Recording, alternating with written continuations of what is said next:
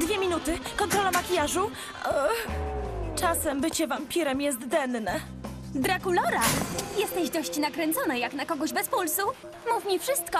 E, chodzi o to, widziałaś nowego chłopaka? Normalnie przechodzi codziennie obok mojej szafki. O rany, serio? Nuda.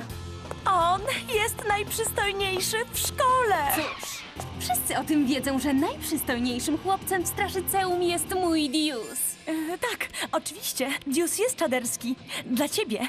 Ale ten koleś... Ach, niezłe ciacho. Idzie tu.